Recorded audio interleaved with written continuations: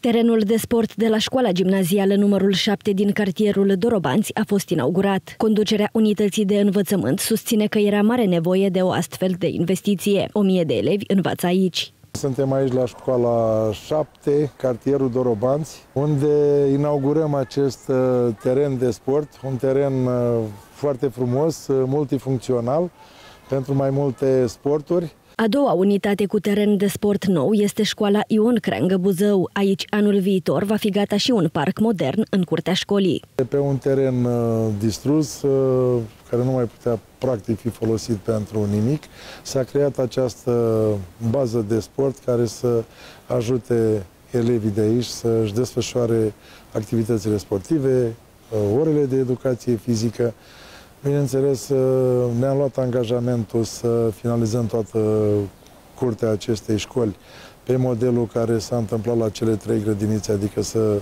avem mult spațiu verde, multe din activitățile didactice să se poată desfășura în uh, spațiu verde care va fi gata anul viitor. La Liceul Tehnologic Grigore Cemoisil Buzău, un spațiu abandonat a fost transformat într-un teren de sport și o curte în care se pot desfășura diferite activități didactice.